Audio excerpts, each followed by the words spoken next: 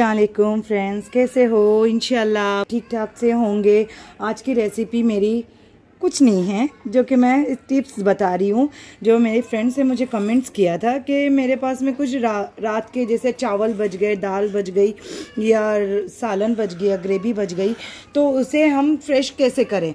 तो यही टिप्स लेकर आई हूँ मैं आज फ्रेश करने की जो कि मैं बता रही हूँ आपको। ये मेरे राइस हैं। ये राइस मेरे रात के बचे हुए राइस है। इसे हमने फ्रेश करना है तो इसीलिए किस तरीके से फ्रेश करना है? इसे गरम करने के टाइम पे हमने ओनियन को चॉप किए हुए ओनियन को मैंने फ्राई करके इसको ऊपर से तय लगानी है, बिछाकर। तो ये फ्रेश हो जाएँगे आपके। और इसे दाल को हमने तड़का लगा लेनी है। ये मेरी रात की दाल बची हुई है, जो कि अभी ये टेस्ट उतना नहीं देगी। तो हमने इसे फ्रेश करना है। तो इसे हमने कड़ी पत्ते से बघार लें, लहसन से इसे बघार लें बट इसी से, किसी से भी इसे बघार सकते हैं, जो कि मैं आपको बताती हूँ कि इसे किस तरीके से बघारना है।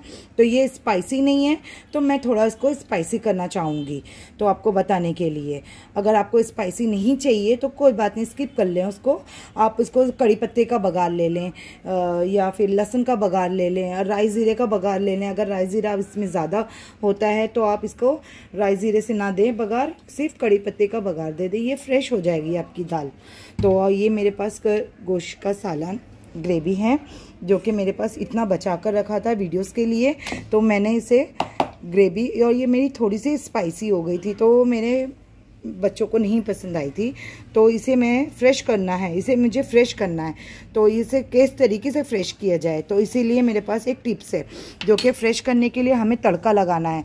तो तड़का लगाने के लिए इसे हमने शिमला मिर्ची का तड़का लगाएँ, या ये मिर्ची का तड़का लगाएँ, जो कि ये तीखी नहीं होती, सिर्फ़ अपना टेस्ट छोड़ती है।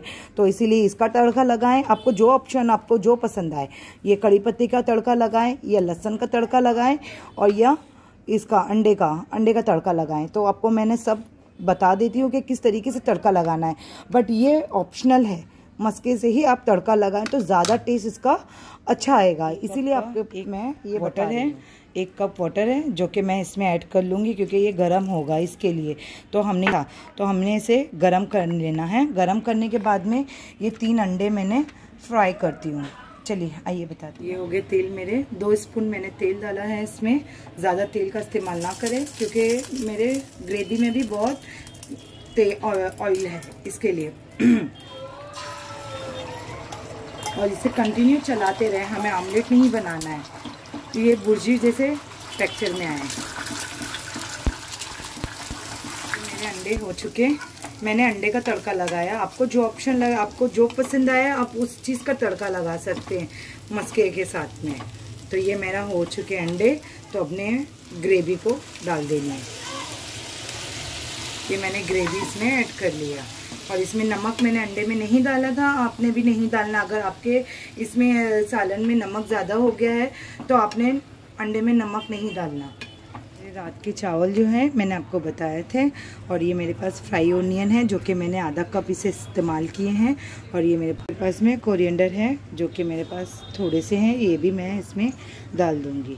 और इसे रख दें दम पर, और ये हो जाएँगे फ्रेश। इसमें एक क्यूब हमने बटर यूज़ करना है, ये एक क्यूब है, जो कि मैंने इसमें ही डाल दूँगी, जो दम पर मेल्ट हो जाएगा। हमने दाल बघारने के लिए सिर्फ़ आधा चम्मच, मेरी दाल स्पाइसी नहीं थी तो आधा स्पून मैंने मिर्ची पाउडर ले लिया और आधा स्पून मैंने सांभर मसाले का पाउडर मैंने यूज़ किया। तो इसे थोड़ा सा गीला कर लें। पाउडर ना डालें। पाउडर डालने से बघार जल जाता है, इसीलिए मैं थोड़ा सा गीला करके डालती हूँ। तो इसे डाल देंगे। दाल का तड़का है और एक कड़ी पत्ता है, जो कि मैं इसको बघारने में डालूँगी।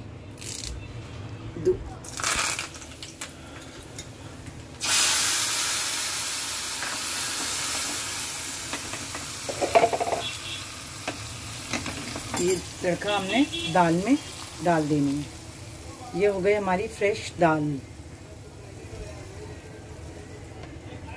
देखिए कितने अच्छी तरीके से कलर आएगा। कोई बता ही नहीं सकता है कि ये कल की दाल है।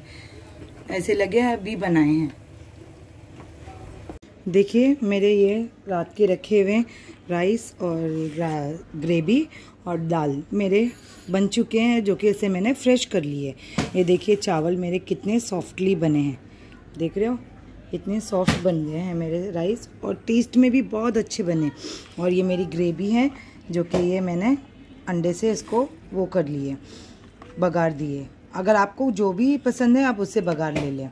और ये मेरे पास दाल है।